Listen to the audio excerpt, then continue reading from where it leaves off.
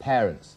If there are children you know who have to bear the burden of looking after the family, again, do give us a call.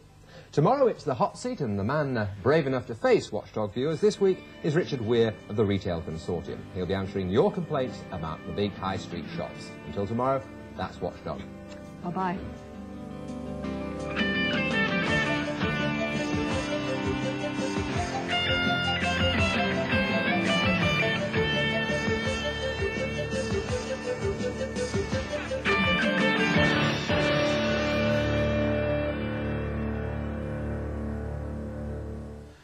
Good morning. Julia Irvin wants to have a baby, but she doesn't want a husband, and she's determined that the father will have no say in the upbringing of her child.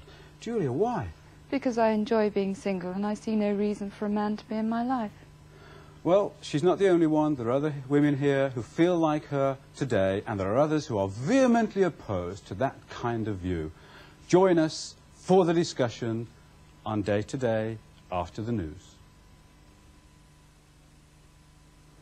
This is BBC One with News Northwest.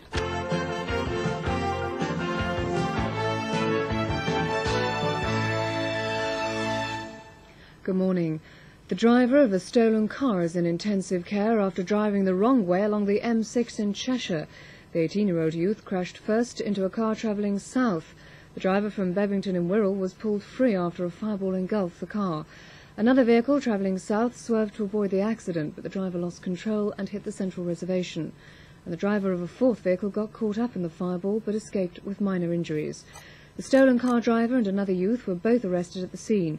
Police say they weren't chasing the car at the time of the accidents. The convicted IRA terrorist Thomas Maguire is expected to leave Liverpool today after being served with an exclusion order by the Home Secretary Mr Douglas Hurd. The exclusion order effectively bans Mr Maguire from mainland Britain for three years. Mr Maguire, who's been held for five days under the Prevention of Terrorism Act, was picked up at Liverpool Airport while travelling to North Wales as a guest of the Welsh Language Society.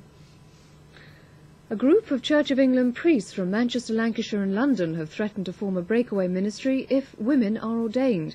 They plan to call themselves Solidarity and say they'll realign to the Orthodox or Roman Catholic churches if the General Synod votes to accept the ordination of women. The group held a meeting at St Benedict's Church in Ardwick in the wake of, wake of an open statement from the Bishop of London urging opponents to break away if women are ordained. Chemists in Liverpool who give out free needles to drug addicts to stop them catching AIDS say they're having reservations about the scheme. The project, backed by the local health authority, is designed to encourage addicts to hand back their used needles in exchange for clean ones. But chemists are finding out they're not getting as many needles back as they give out.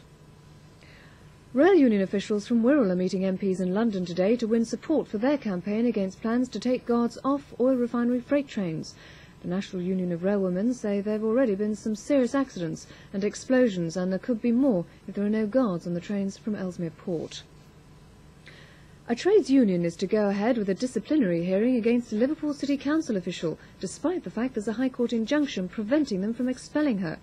The union, the GMB, claims Beryl Molyneux, a parent governor liaison officer, disrupted a branch meeting and tried to form a breakaway union. Mrs Molyneux, who denies the allegations yesterday, won a 14-day injunction against expulsion from the union. Right, and now let's have a look at today's weather. Dry and bright start to the day, but early frost will lead to some icy patches on untreated roads. Sunny spells at first this morning, but clouds tending to increase to give one or two light snow showers this afternoon. The northerly breeze will freshen, making it feel decidedly cold, with temperatures only reaching 3 Celsius. Tomorrow it'll be mainly dry with sunny intervals.